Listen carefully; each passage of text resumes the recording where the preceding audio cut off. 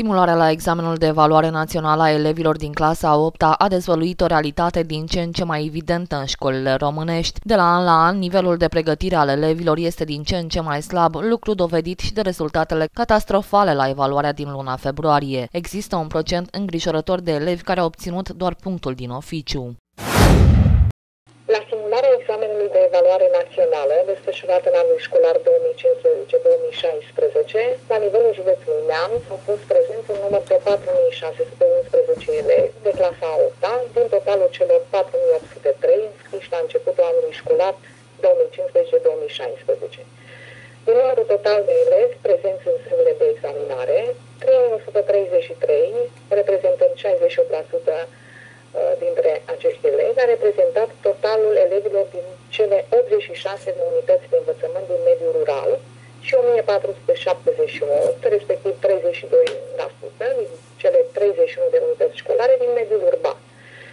Reprezentăm uh, pe scurt situația mediilor obținute la simularea evaluărilor naționale. Cele mai multe medii obținute se situează în intervalul notelor de la 2 la 2,99, și anume 18,2%, iar cele mai puține în intervalul 9, 9,99, 2,2%. Notele obținute de elevi între 4 și 5,99 sunt din păcate cele mai numeroase, situația din mediul rural fiind din nou și cea mai îngrijorătoare.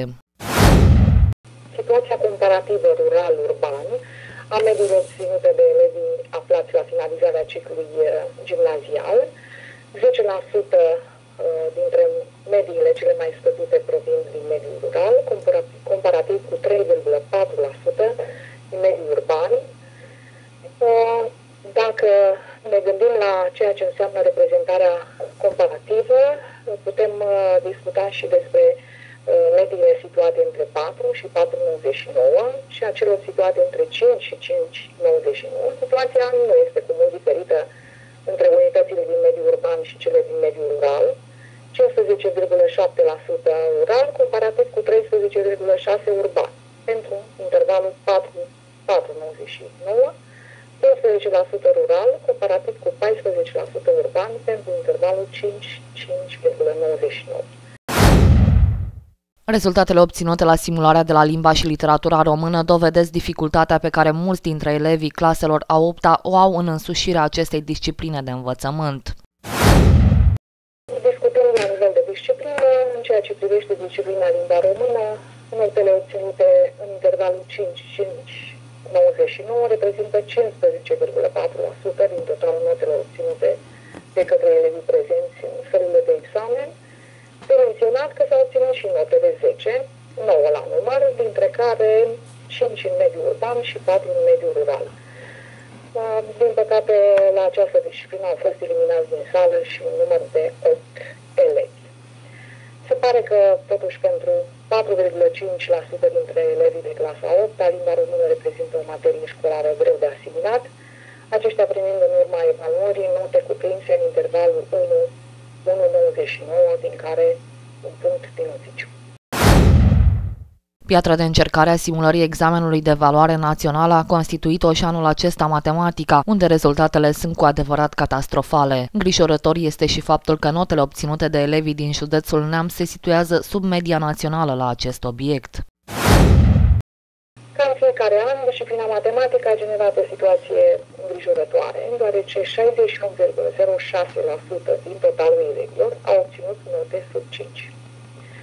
Dintre aceștia, 28,3% au primit note cuprinse între 2 și 2,99, 21,5% între 1 și 1,99, 13,3% între 3 și 3,99 și 7,7% între 4 și 4,99. La această disciplină niciun elev nu a reușit să obțină nota maximă. Uh, în ce privește notele din intervalul 1, 1,99, 1,33, comparativ urban-rural, uh, elevii din uh, mediul rural se situează din nou sub așteptări. Comparăm județul Neamț cu media pe țară, se se constată că elevii nemțeni se situează sub media la nivelul întregii țări, unde 44,05 dintre elevii de clasa 8 au obținut medii generale peste nota de trecere, față de 40,9% dintre elevii din școlile nemțene.